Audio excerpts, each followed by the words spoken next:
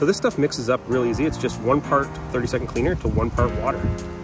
Got my pump sprayer here. I've got one gallon and two gallons marked off. I'm just gonna fill that to the one gallon line and then top off the rest with water.